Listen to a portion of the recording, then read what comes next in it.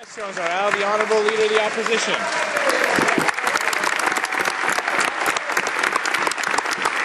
Mr. Speaker, the Conservatives are slashing public services, gutting environmental protections, and dismantling their own Accountability Act.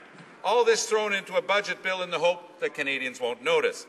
How can the Prime Minister justify trying to slip these policies past Canadians without a proper debate? When he was sitting in opposition, the Prime Minister felt quite differently about that sort of thing. Quote, I would argue that the subject matter of the bill is so diverse that a single vote on the content would put members in conflict with their own principles. So, what happened to those principles? The right Honourable Prime Minister.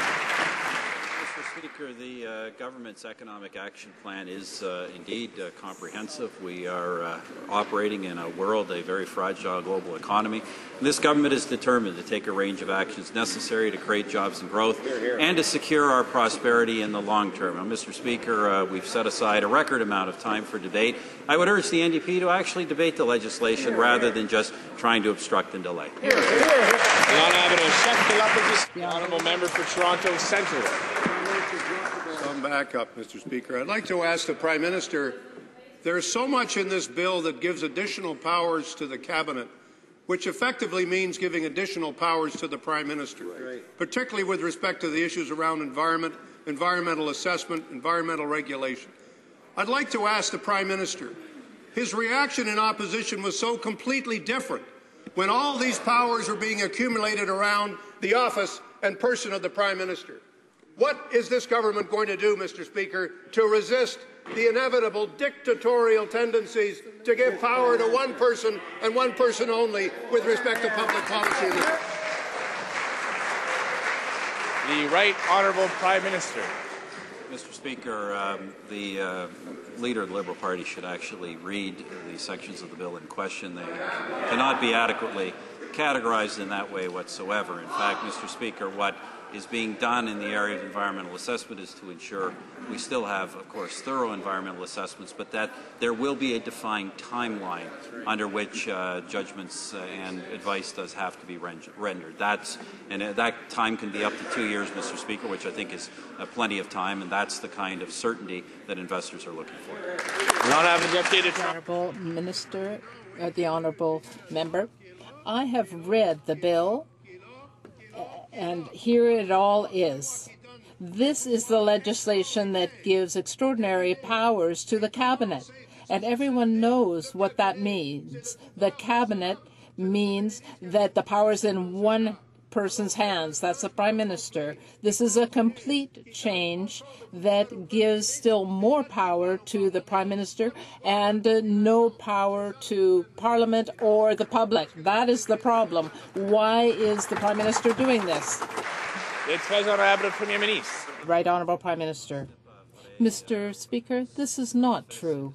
What we are doing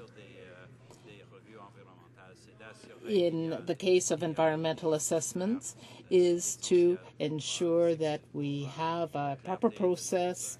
We want clarity for our investors, and I completely reject the analysis given. The Honourable Member for Westmount Ville Marie. Mr. Speaker, yesterday we found out that MDA was having to lay off some highly qualified people because there was no contract to build the strategically important RadarSat constellation. In response to my question, the minister stated, and I quote, We are committed to the RadarSat project and we are working on delivering it in a cost effective way. Well, the Prime Minister has had a very big photo op and he's made all sorts of promises about ensuring uh, better sovereignty for this country and saving lives. Now, the question is what is the government waiting to, for to start this project? Is this going to be another example of a project that gets delayed and mismanaged? The Honourable Minister of Industry. Well, uh, Mr. Speaker, uh, the member is right in quoting me because we are committed to this project and we will deliver it in the most effective way, in the most cost-effective way. And Mr. Speaker, we are taking action for the space sector, and for the first time, we launched a review for the aerospace and space sector to make sure that remain that we remain leader in the world. This is real action, Mr. Speaker. Honourable Deputy de West. The Honourable Member for Westmount Ville Marie. What does that kind of answer mean? They are working on a way to move forward with the project, but in the meantime, there's no contract for the company, and the company might lose people who are highly qualified. The RadarSat is uh, uh, an example of our technological expertise. We must not wait. We have to move quickly for our security and safety. We also need to be able to track the climatic changes in the north. Is this another example of delay by this government? The Honourable Minister.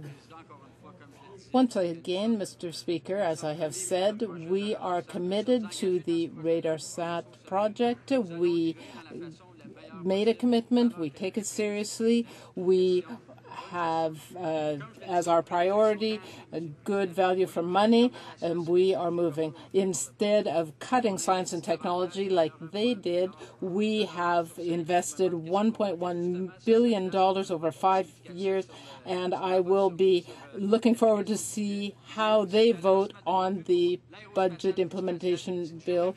We Mr. Speaker, contaminated sites put the health, safety, and economic interests of Canadians at risk for generations to come. Radioactive material may pose cancer risks, and one litre of gasoline can render one million litres of water undrinkable. Does the minister understand that 13,000 sites may need to be cleaned up, that he should stop congratulating himself on a job half done, and instead stand up for the environment? develop aggressive timelines, and provide the necessary resources to protect Canadians. Excellent. The Honourable Minister of the Environment. Well, again, Mr. Speaker, my colleague doesn't seem to understand uh, the context of the Federal Contaminated Sites Program. Most of the sites, hundreds of these sites, fall under the responsibility of 16 uh, departments and agencies the Federal Contaminated Sites Program, $3.5 billion announced by our government, is to address the largest, the most serious of the federal contaminated sites. We are 50% uh, of the way through the, those target sites, and we will continue, Mr. Speaker. Member for Esquimalt, Fuca. Thank you, Mr. Speaker.